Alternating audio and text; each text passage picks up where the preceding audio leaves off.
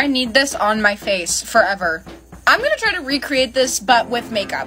For this, I'm actually gonna use an eyeliner pen in the shade Nude Haze from NYX.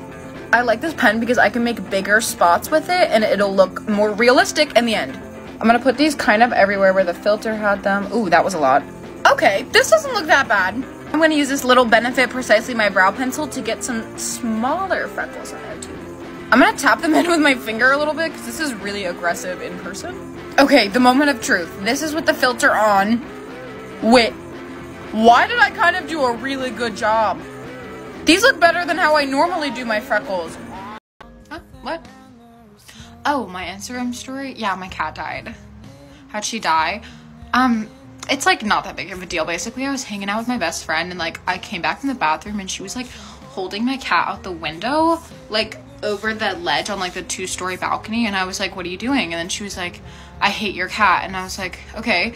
And then she dropped my cat like from the balcony and like poor little Snuffles like didn't make it to the ground. Like I thought cats landed on four legs, but like I guess not. But like it's okay because I forgive her. I mean, I'm sure she didn't mean to and like I thought they landed on four legs. So, like I guess she did too, but like it's totally fine. Like it's no big deal. Oh, I had that cat since I was like a baby.